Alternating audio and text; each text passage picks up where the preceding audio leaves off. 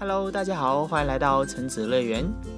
今天我们要给大家带来恐龙的巧克力食玩。这里面的恐龙有三种模型，分别是三角龙、霸王龙，还有剑龙。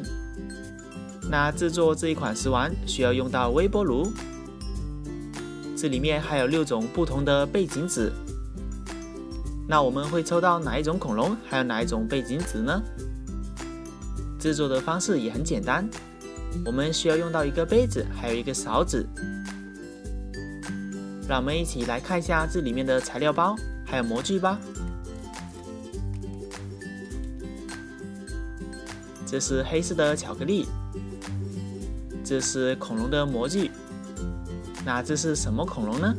你们知道吗？这里面有两包巧克力，背景纸是蓝天白云，还有绿色的草地。里面还有一只鳄鱼，还有两只恐龙。这是我们的杯子，还有勺子。让我们首先来把巧克力融化吧。在融化巧克力之前，我们要先把巧克力弄碎，这样子才会比较方便融化。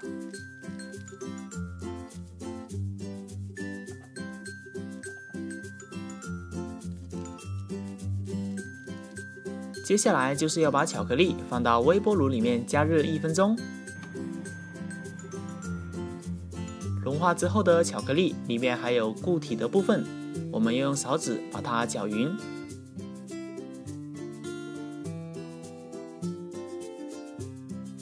搅到完全是糊状的时候，就可以把它流入到模具里面。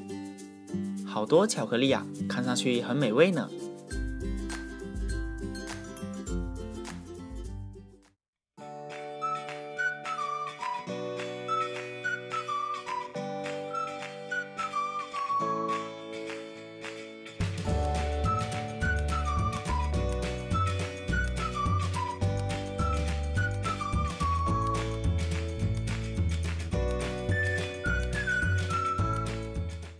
巧克力已经全部倒到模具里面了，接下来是要放到冰箱里面冷藏一个小时。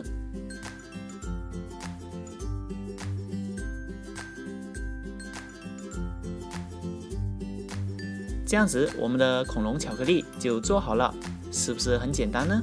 让我们一起来看一下做的怎么样。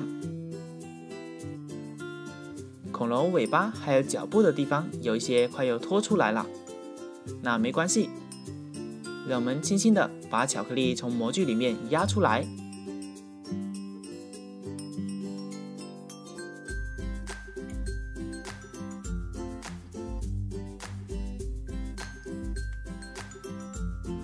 压的时候要轻轻的压，不然容易碎哦。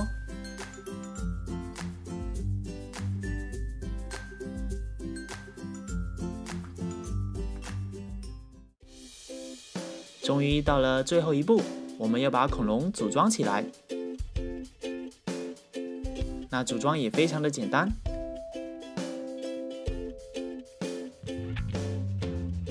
组装好之后，我们可以这样子玩。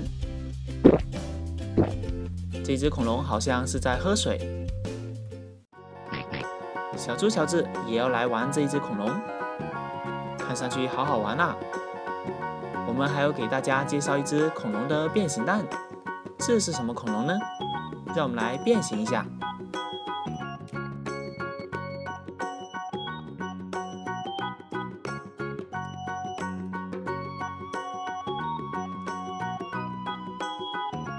那你们知道这是一只什么样的恐龙吗？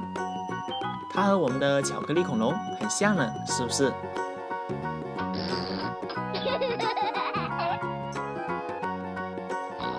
小猪佩奇也来了。原来乔治在和恐龙玩呢。